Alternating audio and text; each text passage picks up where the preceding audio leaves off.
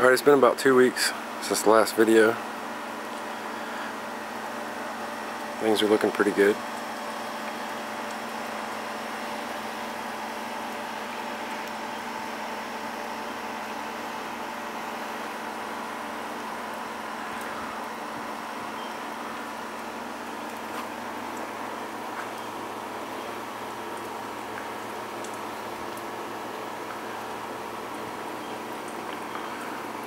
Some Venus flytrap.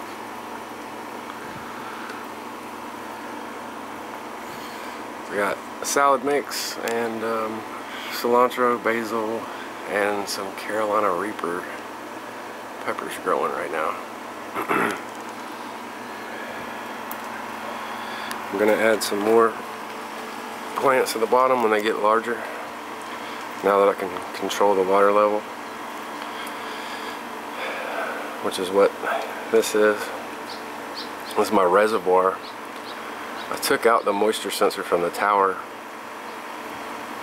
because it couldn't quite keep up. No, the Pi couldn't quite keep up. The state changed between on and off as it was drying out, out flickered, and it couldn't figure out what the end state was. So sometimes it would leave it, leave the pump on, sometimes it would leave it off. So now I just set schedules for it an hour on, hour off. But right now I've just been running it 24 hours straight. And I took the moisture sensor and added it to the back of the bucket and put a 12 volt solenoid on the bottom of this bucket which has pre-mixed um, solution in it and when this water level gets low. I really can see it.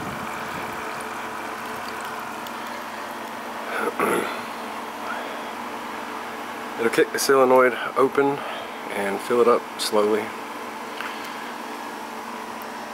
So it's always staying at a constant temperature, I mean temperature, level and it'll also I have it set right now to text message me so I know if it's staying on. So I know when it's going off and when it's coming on. Um, that's pretty much it. I'm open to any criticism if anybody out there has got any.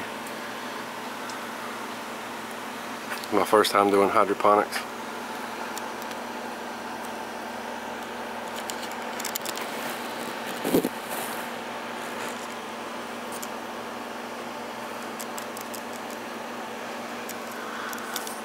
If anybody could tell me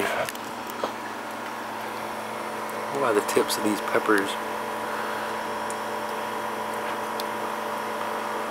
are a little bit white. But these from the top are not. Would be greatly appreciated.